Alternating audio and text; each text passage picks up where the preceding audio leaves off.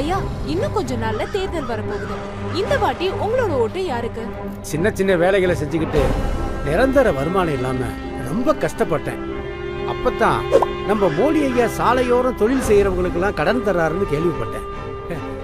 இப்ப நான் வாழ்ற வாழ்க்கை மோடி ஐயா கொடுத்த கேரண்டி இந்த தேர்தல்ல மோடி ஐயா தான் ஜெயிப்பாரு. இது நான் கொடுக்குற கேரண்டி தாமரைக்கு வாக்களியுங்கள். பாஜகவை வெற்றி பெறச் செய்யுங்கள்.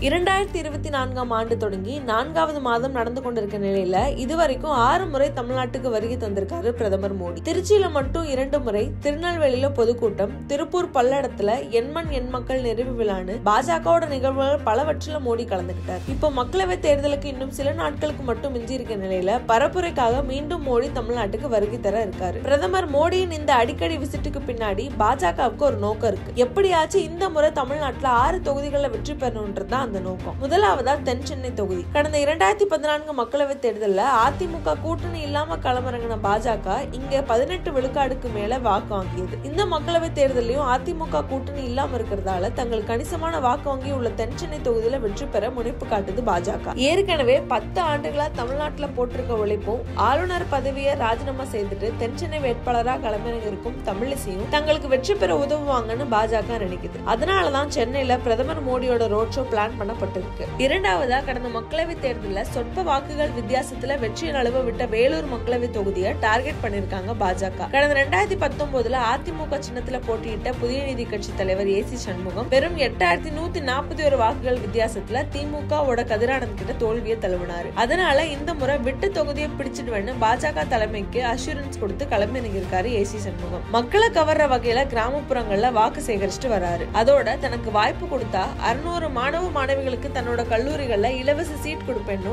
ஷோரிட்டி கொடுத்துட்டு வராரு. இந்த தேர்தல் பிரச்சார வியூகங்கள் ஏற்கனவே ஏசி சண்முகத்துக்கு இந்த தொகுதியில் இருக்க சமூக செல்வாக்கு பாஜகவுடைய வாக்குகள் எல்லாம் சேர்ந்து வெற்றியா மாறுமான்னு பாஜக தலைமை கணக்கு போட்டிருக்கு. மூன்றாவது ஐஜேகே பாரிவேந்தர் சிட்டிங் எம்பியா இருக்க பெரம்பலூர் மக்களவை தொகுதி. ரெண்டாயிரத்தி பத்தொன்பதுல திமுக கூட்டணியில் நின்ன ஐஜேகே தலைவர் பாரிவேந்தர் ஆறு லட்சத்தி எண்பத்தி மூணாயிரத்தி அறுநூத்தி தொண்ணூத்தி ஏழு வாக்குகளோட பெரும் வெற்றி ஈட்டியிருந்தாரு. ஆனா இப்ப கருத்து வேறுபாடு காரணமா திமுக இருந்து விலகி பாஜக கூட்டணியில் இணைஞ்சிருக்காரு பாரிவேந்தர். ஏற்கனவே ஐஜேகேக்கு பெரம்பலூர் தொகுதியில் இருக்க ஓட் பேஸ் திமுக வேட்பாளராக களமிறங்கியிருக்க அமைச்சர் கே நேருடைய மகன் அருண் நேருவுக்கு எதிராக திருச்சி திமுகக்குள்ள நடக்கக்கூடிய லாபி எல்லாம் சேர்ந்தா கடந்த முறையை போலவே இந்த முறையும் வெற்றி நிச்சயம்னு நம்பிக்கையோட இருக்காங்க பாஜகவும் பாரிவேந்தரும். அடுத்ததா பாஜக ஜெயிச்சே ஆகணும்ன்ற கட்டாயத்தில் இருக்க கோவை மக்களவை தொகுதி. தமிழக பாஜக தலைவர் அண்ணாமலையே களமிறங்கி இருக்கிறதால கண்டிப்பா ஜெயிச்சே ஆகணும்னு முழு வீச்சுல களத்துல இறங்கியிருக்காங்க. பூத் கமிட்டியில கூட மெம்பர்ஸ் இல்லைன்னு எதிர்க்கட்சிகள் விமர்சிச்சாலும் கர்நாடகா கரூர்னு வெளியூர்கள்ல இருந்து ஏழாயிரம் பேரை களத்துல இறக்கியிருக்கு பாஜக. கடந்த முறை சிபிஎம்முக்கு கொடுத்திருந்த இந்த தொகுதியில இந்த முறை திமுக நேரடியா கிளம்புறாங்க திமுக கணபதி ராஜ்குமார் அதிமுக சிங்கே ராமச்சந்திரன் பொலிட்டிக்கல் பேக்ரவுண்ட் உள்ள பெரும் தலைகளை களமிறக்கி இருந்தாலும் அண்ணாமலை இங்க ஜெயிச்சே ஆகணும்னு தலைமையிடம் பெரும் பிராயத்தங்களில் ஈடுபட்டு வராங்க.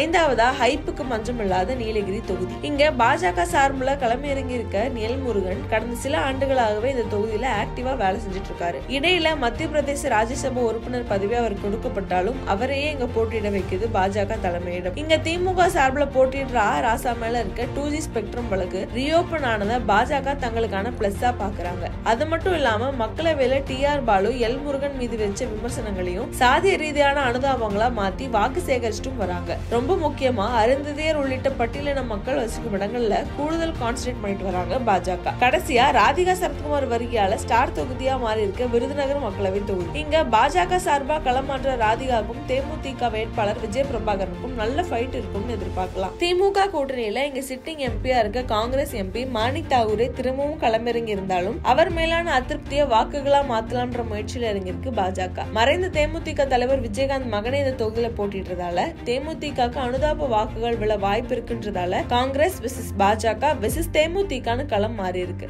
இருந்தாலும் ராதிகாவோட ஸ்டார் பிம்பம் மேல ரொம்ப நம்பிக்கையோட இருக்கு பாஜக. இப்படி முப்பத்தி ஒன்பதுக்கு முப்பத்தி ஒன்பதுன்ற ஆசெல்லாம் இல்லைன்னு ஃபேவரா தெரியுற ஆறு தொகுதிகளில் கூடுதல் கவனத்தோட செயல்பட்டு வராங்க பாஜக. இந்த ஆறு தொகுதிகளில் தாமரை மலருமான்றத பொறுத்திருந்து பார்க்கலாம்.